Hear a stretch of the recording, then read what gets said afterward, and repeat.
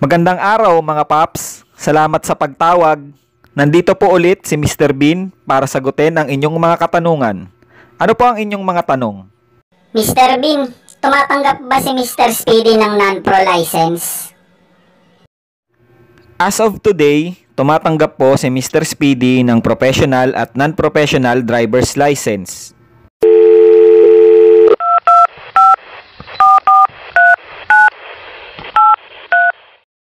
Mr. Bean, pwede na bang bumiyahe kahit wala pang top up? Pwede po, pero may limit lang. Pag umabot sa negative 100, hindi ka na makakakuha ng biyahe.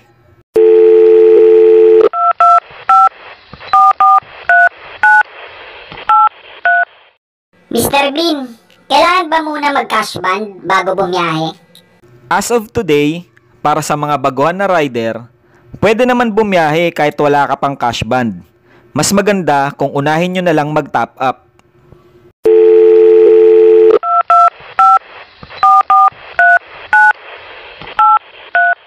Mr. Bean, paano mag-apply kay Mr. Speedy?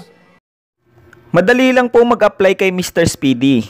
Meron pong video si Mr. Bean kung paano mag-apply kay Mr. Speedy. Panoorin nyo na lang.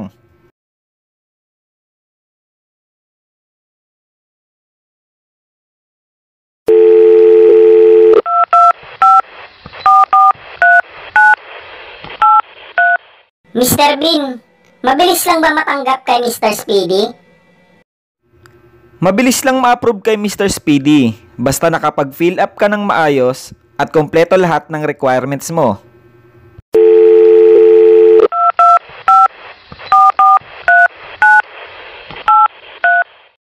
Mr. Bean, mabilis na ba pumasok ang top up?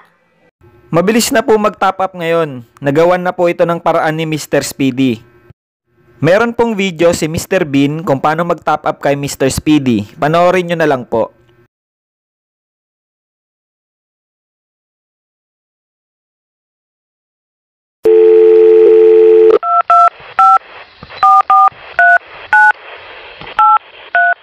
Mr. Bean, ano ba ang indemnification fee?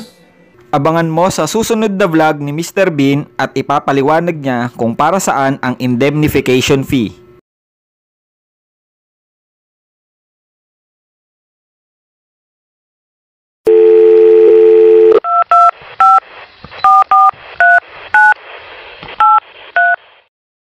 Mr. Bean, saan ba ang opisina ni Mr. Speedy? Nakalagay ang address ng opisina natin dyan sa ID mo.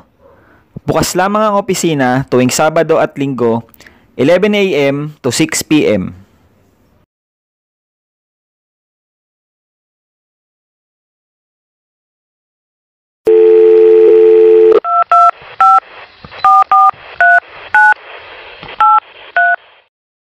Mr. Bean, kailangan ba agad bumili ng Mr. Speedy insulated bag?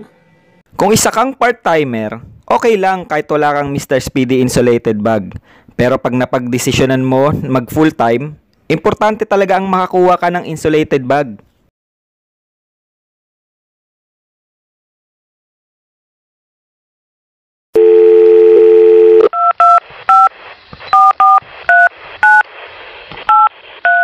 Mr. Bean, pwede pa rin po ba makapag-double book kay Mr. Speedy? Pwede po. Depende po ito kung wala talagang ibang rider sa isang lugar.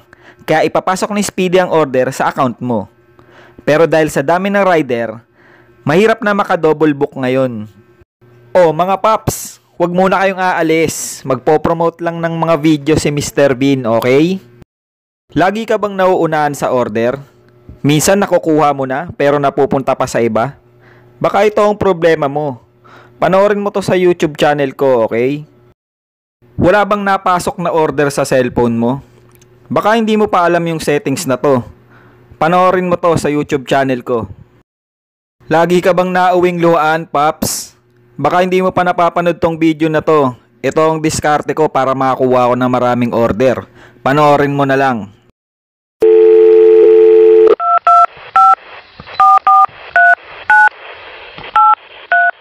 Mr. Bean, magkano ba yung Mr. Speedy insulated bag? Mabibili ang Mr. Speedy insulated bag sa halagang 2,500 pesos.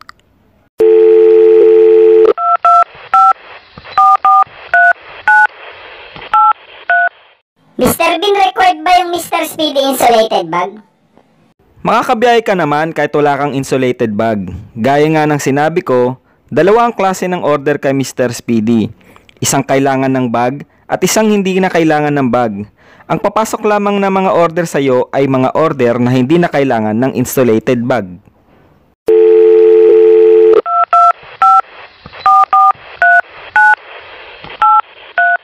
Mr. Bean, pwede ba bumili ng bag sa ibang rider? Kung isa kang bagong rider ay hindi pwede sapagkat kailangan pang i-register ang insulated bag sa opisina. Kaya pag sa opisina ka bibili ng bag, diretso na nila i-register ang bag sa pangalan mo.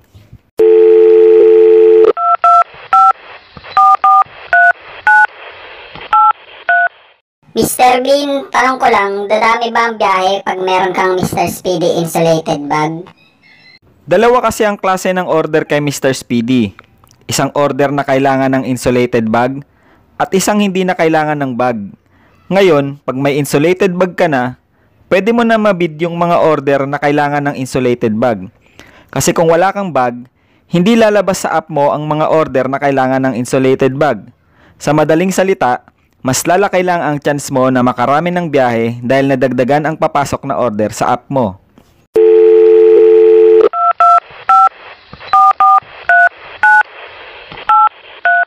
Sana po ay nasagot ko ang inyong mga katanungan at kung may iba pa kayong tanong, comment down below at pipilitin ni Mr. Bean sagutin ang inyong mga katanungan. Sa mga hindi pa nakasubscribe, please hit the subscribe button para updated ka sa mga bagong content ni Mr. Bean. Maraming salamat sa pagtawag at ride safe mga paps.